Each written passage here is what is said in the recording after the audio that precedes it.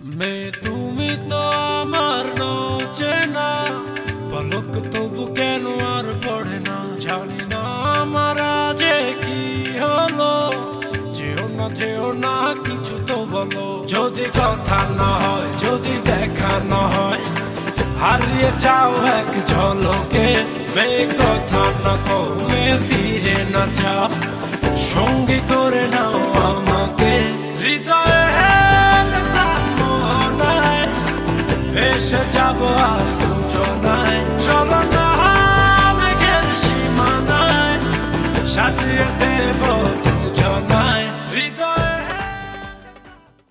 সুপ্রিয় দর্শক, অনেক অনেক শুভেচ্ছা, রূপান্তরের শুভেচ্ছা।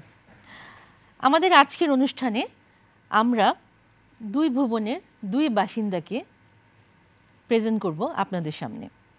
একজন গানের মানুষ, একজন অভিনয়ের মানুষ। আমার একদম ডান পাশে রয়েছে দিঠি আনোয়ার এবং তারপর রয়েছে শাহরিয়ার নাজিম জয়। দুজনই আপনাদের প্রিয় মুখ পরিচিত মুখ। তোমরা দুজন এসেছ আমার অনুষ্ঠানে। আমার অনেক ভালো লাগছে। এখন আমরা কিন্তু আজকে তোমাদের বন্ধুত্বের গল্প শুনব। দুজনে। কীভাবে বন্ধুত্ব হলো? তুমি করো গান জয় করে অভিনয়। প্রথম বন্ধুত্বটা কীভাবে হলো সেটা বলি। সেটা হচ্ছে যে ও আসলে শিশু শিল্পী ছিল সিনেমার। আচ্ছা। ও লিড রোলে হিসেবে অভিনয় করছিল। আচ্ছা। ওর বাবার ছবিতে। ও পরীক্ষার সময় খুব সিরিয়াস হয়ে যেত। ওর মা ওকে ওই সময় অ্যাক্টিং করতে দিত না। তো ওর বাবার ফিল্মের সেটা ছিল ক্লাইম্যাক্স সিকোয়েন্স একদম লাস্ট অনেক বড় বড় সুপারস্টাররা ছিল। তো ওই সময় দিঠি শিডিউল ফাঁসিয়ে দিল। এখন পরিচালকের মেয়ে তো এখন ওকে আর কেউ ডিস্টার্ব করা হলো না।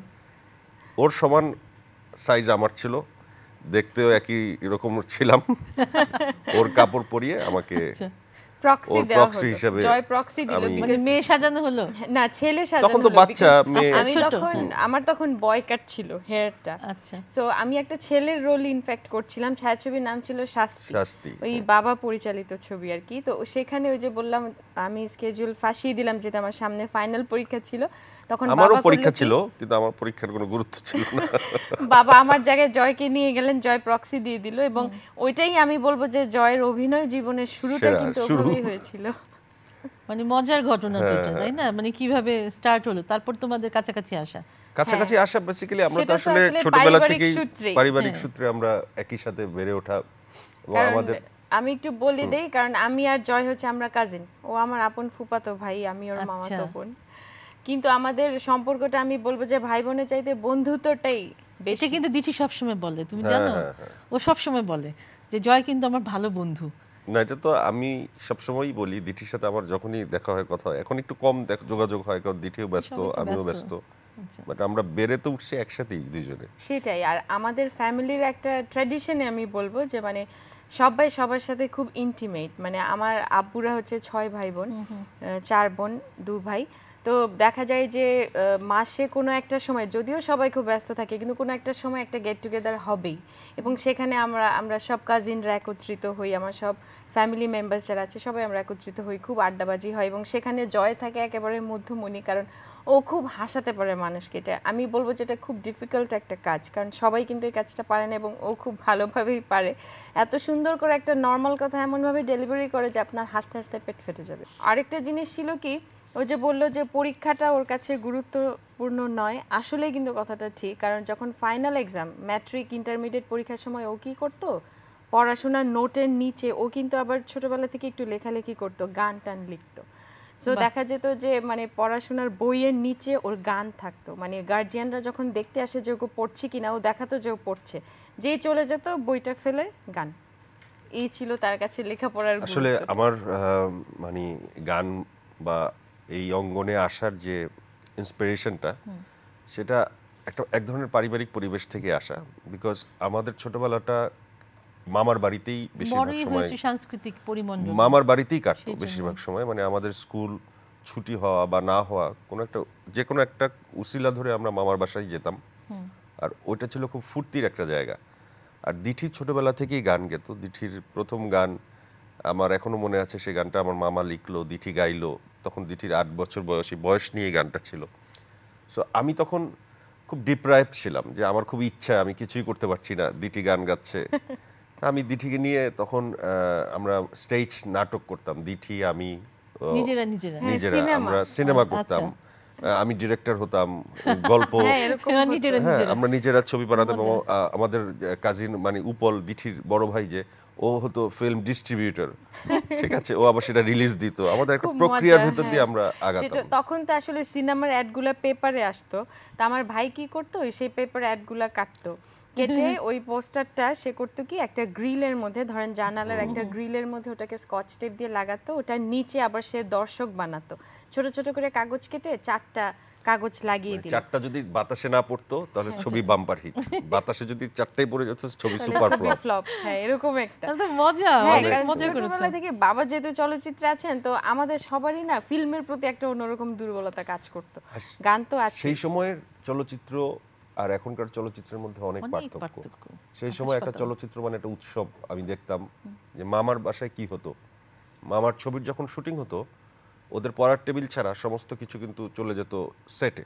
হ্যাঁ। বাসা ভোট বাসা খালি বাসা একদম ফুটবল মাঠ হয়ে থাকতো। পুরস্কার হিসেবে ছবি যখন সুপারহিট হতো মামা মামিকে আবার নতুন করে সবকিছু কিনে দিত। তো তুমি যে মানে আমাদের ওই মুভিগুলোতে কাজ করেছ আমি হ্যাঁ, মুভিতে কাজ করেছি, নাটক করেছি মানে আমি তো প্রথম কাজ করি জীবনের গল্প ছবিতে। তার আগে তোমার নাটক দিয়ে শুরু। নাটক তো আমার নাইনটিন নাইনটি সেভেন থেকে আমি নাটক করি। ইচ্ছা ছিল যে সিনেমার নায়ক হয়ে আমি আসব কিন্তু একটা পারিবারিকভাবে আমি সেটা পারি নাই কারণ আমার মামাকে আমার নানু মানে কঠিনভাবে ডেকে বলছে আমাকে সিনেমায় সুযোগ দেয় তাহলে তাকেই পারিবারিক পারিবারিকভাবে ইয়ে করে দেওয়া হবে। বাদ দিয়ে দেওয়া মামা ভয়ে আমার সাথে কথা বলাই বন্ধ করে দিল। আমি তো বুঝি না মামা তো আমাকে বলছে সিনেমায় নিবে কিন্তু ওই মাম নানা নানির ভয়ে মামা আমার সাথে কথা বলাই বন্ধ করে দিল। তারপর আমি বুঝলাম যে আমাকেই আমার ফাইট করতে হবে। এই ফাইট করে আমি প্রথমে নাটকে স্টাবলিশ হই পরে মামার সিনেমাতেই আবার সিনেমাতে অভিষেক হয়। ওই যে জীবনের গল্প যে ছায়াছবিটা সেটা ইমপ্রেসের ব্যানারেই ইমপ্রেসের ছিল বাবার তো তোমার মানে কোনটা ভালো লেগেছে? মানে এই সিনেমা করতে ভালো লেগেছে নাকি তোমার নাটকটাতে বেশি তুমি কমফর্ট ফিল করো? সিনেমাটা স্পেশাল সিনেমাটা আমার কাছে সবসময় স্পেশাল মনে হয়। আসলে ও আসলে খুব ভক্ত আর কি। মানে এই জিনিসটা পছন্দ ওর মানে ছোটবেলা থেকে সিনেমার প্রতি দুর্বলতাটা ছিল। তারপরে সে নাটকে জড়িয়ে গেল এখন তো সে সিনেমা পরিচালনাতেও নেমে গেছে। বর্তমান সময়ের ব্যস্ততা দুজনেরই। দুজনে কে কি করছ? আগে জয়ের কাছে যাই। আমার ছবি ঈদের রিলিজ পেল প্রার্থনা। আমার ছবিটা তো ইতিমধ্যে দর্শক প্রিয় হয়ে উঠেছে এবং বেশ ভালোভাবেই দর্শকের সারা আমি পেয়েছি। আর ছবিটা এর আগে যখন সেন্সার পেল তখন সকল মহলে প্রশংসিত হয়েছে। একটু ডিফারেন্ট ইস্যু নিয়ে ছবি। এখন আমি নেক্সট ফিল্ম করার প্ল্যানিং করছি। আশা করছি ইমপ্রেস টেলিফিল্মের ব্যানারে আমার সেকেন্ড ছবিটা আমি শুরু করতে যাচ্ছি খুব শীঘ্রই। দেখো ওর সবকিছু ধাপে ধাপে হয়েছে ধাপে ধাপে। তাই না? এটা কিন্তু মানুষের যে বলে না যে শিখে আসা ও পুরো জিনিসটাই শিখে ধাপে এসেছে। ধাপে। আমি জয়কে বলব যে জয় ছোটবেলা থেকেই খুব অ্যাম্বিশিয়াস ছিল? মানে ওর একটা সবসময় একটা লক্ষ্য থাকে একটা টার্গেট থাকে এবং সে চেষ্টা করে মনে প্রাণে সেই টার্গেটে পৌঁছতে গিয়েছে ওই পর্যন্ত হ্যাঁ। ছোটবেলা থেকেই তো আমরা সেই পরিবেশটা পেয়ে আসছি এটা আমাদের একটা অ্যাডভান্টেজ আমাদের অ্যাডভান্টেজ ক্ষেত্রেও তাই। বর্তমান সময়ের ব্যস্ততা।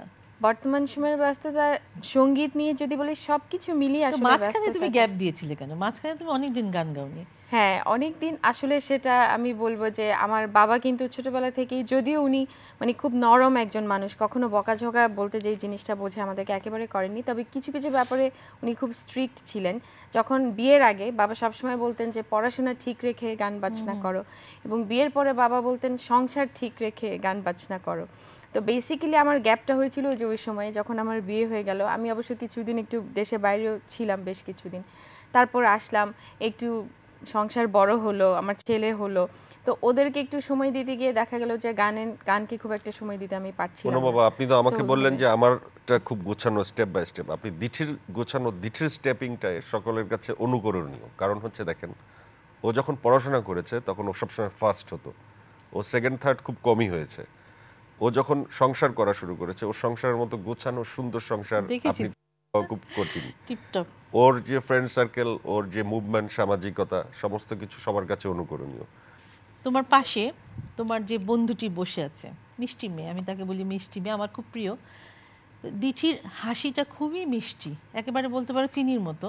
তো ওর হাসির একটা ডেফিনেশন তুমি দিবে এই যেমন ধরো কেকের উপর আইসিং সুগার কিংবা চকলেট আইসক্রিমের উপর ক্যারামেল দিলে যেমন হয় আর কি। তোমার কাছে কি? আসলে দিঠির হাসি এতই মধুর যে এটা চোখ দিয়ে দেখি না কারণ চোখ দিয়ে দেখলে পরে আমাদের সমস্যা ডায়াবেটিস হয়। যাবে। ঠিক আছে। ডায়াবেটিস হয়ে যেতে পারে। এটা আসলে জনগণের জন্য ছেড়ে দিছি।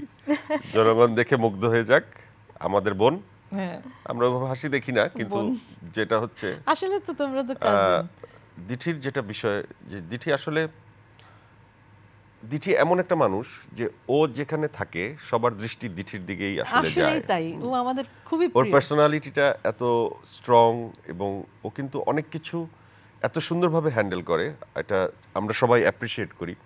যে ওর যে বাচ্চা ওরকম একটা বাচ্চা যার থাকে তার তো আর অন্য কোনো কিছু করার সুযোগ থাকে না। মানে না? হ্যাঁ? মানে সেই রকম গুন্ডা। সেই বাচ্চাগুলোকে সে এত সুন্দর ট্রেন করতে পারে এত সুন্দরভাবে ম্যানেজ করতে পারে এবং সব কিছু ম্যানেজ করে ওর ওর সামাজিকতা ও সবার সাথে যে সম্পর্ক রাখার ব্যাপার সমস্ত পার্টিতে অ্যাটেন্ড করার ব্যাপার এগুলো অসাধারণ একটা স্ট্যামিনার ব্যাপার। এটা আমরা দিঠির কাছ থেকে আসলে ইন্সপায়ার্ড হই যে আমাদের আরও স্পিড আমি পার্সোনালি ইন্সপায়ার্ড হই যে আমাদের আরও জীবনে দিঠির থেকে শিখে আরও স্পিড আনা উচিত জীবনে এবং জীবনটা আসলে ওর কাছে ও অনেক সুন্দর করে নিয়েছে। এটা অনেক শেখার আছে। দিঠি জয়ের কথা বলো। তোমার একদম কাছের মানুষ একদম ছোটবেলা থেকে দেখা এই মানুষটি কেমন? জয়কে আমি প্রথমত ডিসক্রাইব করব খুব ইমোশনাল একটা ছেলে কিন্তু সে এবং খুব সেনসিটিভ মানে যে কোনো ব্যাপারে সে খুব সেনসিটিভ আর এটা অবশ্য আমি পজিটিভ ভাবেই বলছি। সেন্সিটিভ মানে সে যেই জিনিসটা টার্গেট করে ধরেন সে টার্গেট করল যে সে অভিনয় করবে। তো এই অভিনয়ের এই জিনিসটার প্রতি তার অসম্ভব একটা দুর্বলতা কাজ করে। তখন দেখা যায় যে আর আমরা যারা ওর ওয়েল উইশার মানে সত্যিই ওর ভালো চাই আমরা তো চাইব যে হ্যাঁ ভুল ত্রুটি মিলিয়ে যেহেতু মানুষ তো অনেক সময় হয়তো একটু ভুল ত্রুটি হয়ে যায় হয়তো একটু সমালোচনার মতোই হয়তো আমরা কিছু একটা ওকে বলেই বসলাম যে জয় তোর এই নাটকে এটা এভাবে কেন করলি? তো দেখা যায় যে ওই জিনিসটা নিয়ে খুব সিরিয়াস হয়ে গেল। হ্যাঁ তবে এটা অ্যাকসেন্সে খুব ভালো এবং সেই ওই জিনিসটা থেকে পরবর্তীতে দেখা যায় যে ওটা এত সুন্দরভাবে সে কি বলব? মানে এত সুন্দরভাবে সে ওভারকাম করে নিল যে পরবর্তীতে দেখা গেল যে তার কাছ থেকে আমরা বেস্ট জিনিসটা পেলাম। এটা একটা হলো। সে খুব ইমোশনাল আর আমি বলব যে সে অসম্ভব মানে মনের দিক থেকে খুব লক্ষ্মী একটা ছেলে। ওর মনটা খুব নরম। মনে হয় যে না একেবারে ভালোবাসায় ভরা। আমাদের ফ্যামিলির প্রাণ বলতে কিন্তু আমরা জয়কেই বুঝি। ওই যে বললাম না যে আমরা পারিবারিক আড্ডায় যখন বসি সব কাজিনরা যখন আমরা একসাথে বসি ও তো আমাকে বলল যে সবার দৃষ্টিটা আমার দিকে। কিন্তু আমি বলব যে না সবার দৃষ্টিটা অ্যাকচুয়ালি জয়ের দিকেই থাকে। কারণ জয় কি বলছে জয় কি করছে ওই জিনিসটা। আর অবশ্যই ওকে নিয়ে আমরা গর্ব ফিল করি। কারণ ও ছোট এত এখনও তো তার বয়স খুব একটা হয়নি বাট ইয়াং এইজে মাসাল্লাহ সে যেই সাকসেসটা পেয়েছে এটা তো তাকে নিয়ে আমরা সবাই ফ্যামিলিতে গর্ব করি এবং তাকে নিয়ে আমরা যখন কোথাও ঘুরতে যাই সেটা দেশ হোক বিদেশ হোক মানে যখন আমরা দেখি যে আমাদের দেশের মানুষরা ওই যে জয় ওই যে জয় যাচ্ছে এটা কিন্তু আমাদের মানে বন্ধু হিসেবে ভাই বোন হিসেবেও মানে এটা আমাদের কাছে খুব ভালো লাগে এই জিনিসটা আমরা খুব এনজয় করি। সে তার বাবা মার প্রতি তার যে দায়িত্ব সে একটা লক্ষ্মী হাজব্যান্ড আমি বলব তার বউয়ের প্রতি তার যে দায়িত্ব যদিও তার কাজকর্ম নিয়ে সে খুব ব্যস্ত থাকে। তারপরে আমি বলব সে একটা সময় কিন্তু বের করে যেটা সে তার ফ্যামিলিকে দেয়। আমাদের সবাইকেও দেয় প্লাস তার ইন্টিমেট ফ্যামিলি তার বউ বাচ্চা বাবা মা ওদেরকে দেওয়ার চেষ্টা করে এবং সে তার অবসর সময়টুকু কিন্তু সে খুব ফ্যামিলি ওরিয়েন্টেড একটা ছেলে মানে ফ্যামিলির সাথে কাটাতে সে খুব পছন্দ করে। তোমাদের ফিউচার প্ল্যান কি দুজনের? সংগীত নিয়ে তোমার মুভি নিয়ে? তুমি তো পরিচালক হয়ে গেছো। আমার এরপর নিশ্চয়ই প্রডিউস করবে। আমার আসলে ফিউচার প্ল্যান হচ্ছে যে আমি চাচ্ছি যে আমি কিছু ভালো সিনেমা বানাবো। সুস্থ ধারার। সুস্থ ধারা অসুস্থ ধারা এই বিতর্কেই যাব না ভালো ছবি। আচ্ছা। ভালো ছবি আসলে একটু পড়াশোনা করে বানানো দরকার অনেক কিছু গবেষণা করে বানানো দরকার। আপনারা যদি দেখেন যে ইরানের ছবিগুলো যদি দেখেন ছবি যে কত জীবন ঘনিষ্ঠ হতে পারে ছবি যে কতটা অন্তরে দাগ ফেলতে পারে আমি চাই যে আমার ছবি নিয়ে আমি বহুদূর আগাবো। আর সাথে সাথে আমার অ্যাক্টিং ক্যারিয়ার তো আছেই। দিচ্ছি তোমার ভবিষ্যৎ পরিকল্পনাটা আমার শোনা হয়নি, বলো। ভবিষ্যৎ পরিকল্পনা তো সংগীত নিয়ে যদি বলি পুনমাপা আমি তো ছোটবেলা থেকে আসলে গান করি মানে গানটা আমার হচ্ছে একটা প্যাশন আমি বলব যে এটা পেশার চাইতে নেশাই বেশি। তো আমার কখনো ওরকম টার্গেট নাই যে না আমাকে এক নম্বর দু নম্বর হতে হবে। বাট আমি গানটা খুব ভালোবেসে করি এভাবেই আসলে করে যেতে চাই। পাশাপাশি উপস্থাপনা পাশাপাশি করছি উপস্থাপনাটা এই কারণে কারণ বাবা তো গানের লাইনের মানুষ আমি গান করছি মা যেহেতু উপস্থাপনা করতেন। সো মার সাইডটাও কিছু কিছু করে একটু ধরে রাখার চেষ্টা করছি ওইটা। আর একটা খুব বড় একটা পরিকল্পনা আমার আছে, আমি জানি না কতটুকু করতে পারব। সেটা হলো যে, আমার জীবনের সবচেয়ে বড় ব্যক্তিত্বই আমি বলব যে আমার বাবা এবং তিনি প্রায় বিশ হাজারের উপরে গান লিখে ফেলেছেন। তো আমার একটা ইচ্ছা আছে এই গানগুলোকে যদি আমি একটু সংগ্রহ করতে পারতাম আমরা অবশ্যই এই উদ্যোগটা অবশ্যই নিয়েছি এবং অলরেডি কিছু কাজও শুরু করেছি। মানে বাবা যাদের সাথে কাজ করেছেন মিউজিক ডিরেক্টর বলেন বা সিঙ্গার্স ওদের কাছ থেকে আমরা গানগুলো কালেকশন করার চেষ্টা করছি এবং আমার ইচ্ছা আছে এই এই গানগুলোকে আস্তে আস্তে আমি হয়তো একটা সিডি আকারে মানে সিরিয়ালি বের করার একটা ইচ্ছা। আর আরেকটা ইচ্ছা আছে যে বই মেলা প্রতি বছর তো বই মেলা হয় এবং সেখানে বাবার লেখা গানগুলো এবং পাশাপাশি বাবার লেখা থাকল যে কোন কোন পটভূমিতে বাবা গানগুলো লিখেছিলেন। ওইভাবে আর কি জিনিসগুলোকে সংগ্রহ করার একটা পরিকল্পনা আছে। জানি না কতটুকু পারব। আমাদের আজকের অনুষ্ঠানে তোমরা সময় দিয়েছ দুজন। আমরা কিন্তু এই প্ল্যানিংটা অনেক আগে থেকে করছিলাম যে দুজনকে একসাথে বসাবো। ব্যাটে বলে মিল ছিল না তা আজ মিলে গেল। মিলে গেল। তো অনেক ধন্যবাদ। আমাদের আজকের অনুষ্ঠানে জয় দিঠির একটা গান আমি দর্শকদেরকে প্রেজেন্ট করব। সুপ্রিয় দর্শক কেমন লাগল? আমাদের এই দুই ভুবনের দুই বাসিন্দাকে। লিখে নিন আমাদের email address Rupantar zero six at Yahoo dot com আমাদের সঙ্গে রয়েছে যোগাযোগের আরেকটি ঠিকানা। পরিচালক রূপান্তর জিপিও বক্স নাম্বার দুই চার তিন তিন ঢাকা এক শূন্য শূন্য শূন্য। আপনারা অনেক অনেক ভালো থাকবেন। আবার চলে আসব আপনাদের সামনে, আপনাদের প্রিয় মুখ, প্রিয় মানুষকে নিয়ে। বর্ষণ নয়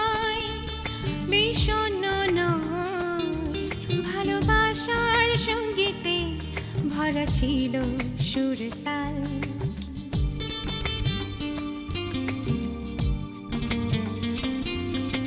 বর্ষণ নয় বিষণ্ণ ভালোবাসার সঙ্গীতে ভরা ছিল সুর তাল কি মিষ্টি ছিল যে গতকাল কি মিষ্টি ছিল যে গতকাল যে গতকাল কি মিষ্টি ছিল যে গতকাল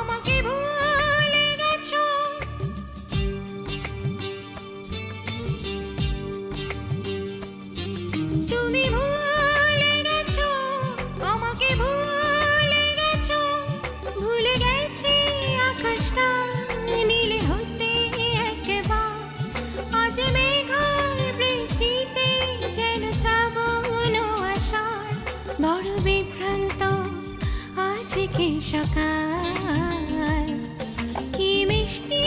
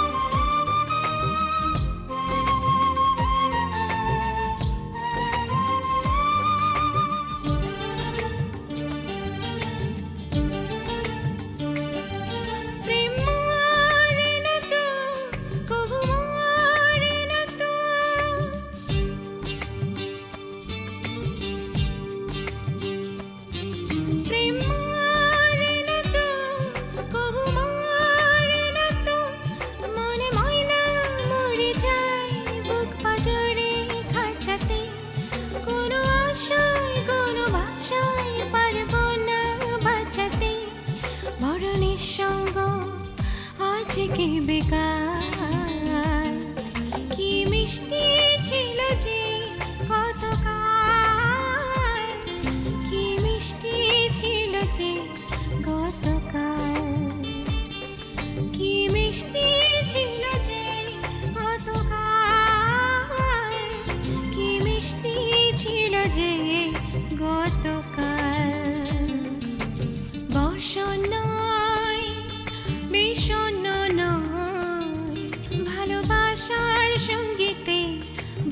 ছিল সুর তাল